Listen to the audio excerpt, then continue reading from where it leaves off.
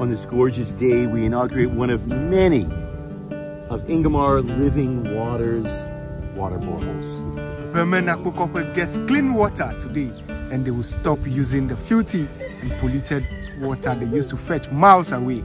Today, Weme-Nakpokope gets clean, potable water. The gift of life has come to stay and the people of Weme-Nakpokope will live a good and healthy life because of you. Thanks to Ingomar Living Waters, we are going from village to village in the eastern region, in the Volta region. Thanks to you, it is Weme-Nakpokope's time to enjoy this gift that will change their lives today and for generations to come. Kids and the people of Weme-Nakpokope and the whole of Ghana says thank you.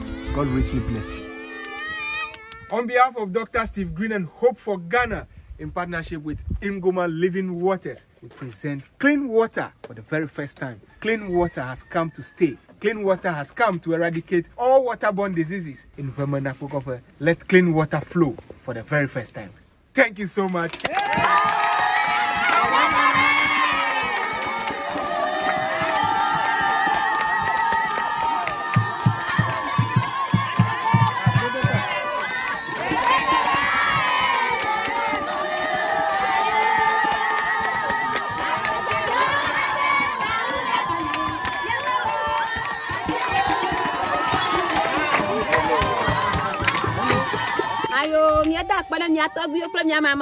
We thank God and our ancestors that they brought us good luck, and today we got clean water which had never been in our history.